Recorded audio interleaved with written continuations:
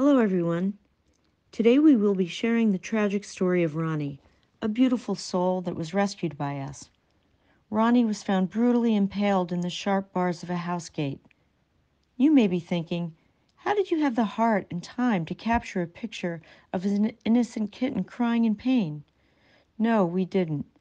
This picture was taken by a nearby vet who went to rescue Ronnie and it makes us question how he could even take the time to take a photo with a kitten who is clearly desperately in need of help.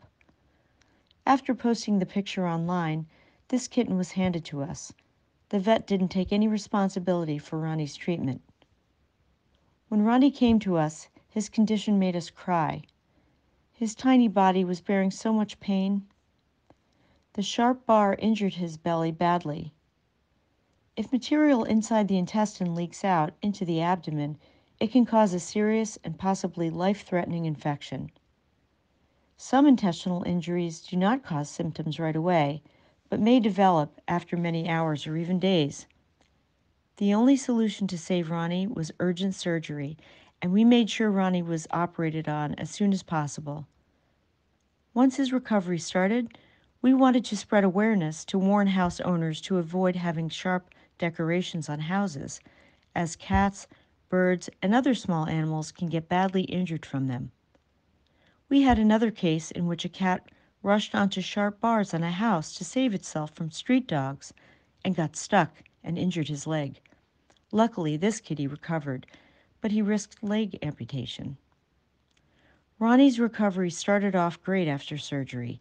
He started eating well and seemed like a happy cat, but sadly, little Ronnie's life was cut short. He was making a great recovery, but started getting extremely itchy in the wound area. Right when we were taking him to the vet for a checkup, he somehow scratched his incision to the point that his intestines were exposed again. We urgently got Ronnie another surgery, but unfortunately, he developed an infection and passed away. Although Ronnie, a beautiful, innocent kitten, isn't with us any longer, he has taught us a meaningful lesson. We tried our very best to save his life, but sometimes there are forces beyond our control. If you have sharp bars in your house, doors, or walls, bending them down or putting something above to soften the edges can save the life of an innocent animal that might get a life-threatening injury. This case left us broken, as Ronnie was precious cat. He was a precious cat to us, so we want to post about his story to spread awareness about the hazards to animals of sharp objects on and around the house. Thank you so much for watching.